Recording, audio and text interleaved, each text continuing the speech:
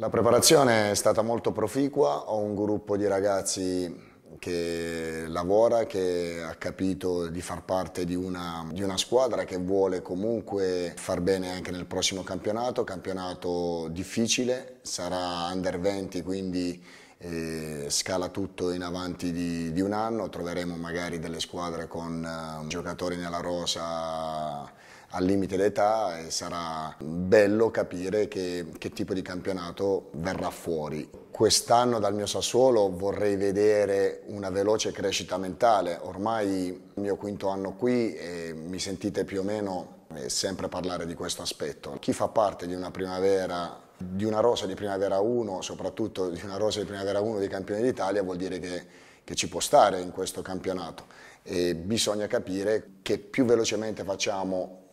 una crescita mentale e più velocemente possiamo toglierci delle soddisfazioni. Le mie squadre sono sempre molto, molto aggressive, molto coraggiose e questo è quello che io cerco di insegnare a loro. Ovviamente eh, giocare bene farebbe, farebbe, piacere e noi ci sforziamo di, di, farlo, poi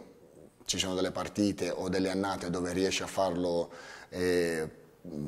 velocemente, altre come quella dell'anno scorso dove abbiamo alternato molto, però insomma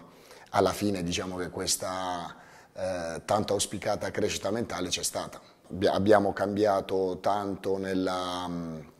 dire, negli 11 che potrebbero scendere in campo, eh, però diversi ragazzi l'anno scorso si sono già allenati con noi, qualcuno ha già assaporato l'esordio nella primavera spero che questi ragazzi un pochino di, di esperienza ce l'abbiano, anche se poi la crescita vera e propria te la fa fare la, la partita. E io per primo devo resettare quello che, che è stato l'anno scorso, ogni anno devo cercare sempre di resettare perché a fine anno ti trovi giocatori, chi più, chi meno, che è cresciuto, che, che è migliorato. E,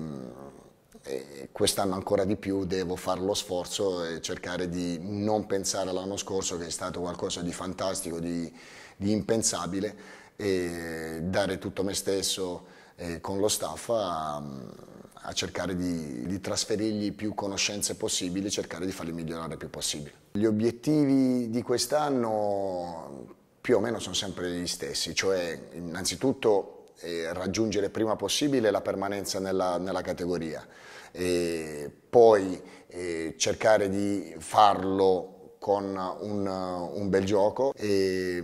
di squadra abbiamo tanti impegni perché oltre alla, alla Coppa Italia e alla Supercoppa che, insomma, eh, dove ci giocheremo un altro trofeo, alla Youth League, e, insomma gli impegni sono tanti, sono aumentati anche le squadre nel campionato e quindi ci sono quattro partite in più. Gli obiettivi personali sono quelli di, di migliorarmi anch'io, di cercare di, di, studiare ancora di più e di, e di provare, come al solito, a, a, portare più giocatori possibili in, in prima squadra. Secondo me esordio peggiore non poteva capitarci, perché comunque l'Ellas Verona è una squadra che ha dei valori, è ben allenata, il campo dove giochiamo è un campo sintetico, un campo fastidioso, ma noi abbiamo la possibilità subito di, di misurarci contro una squadra che secondo me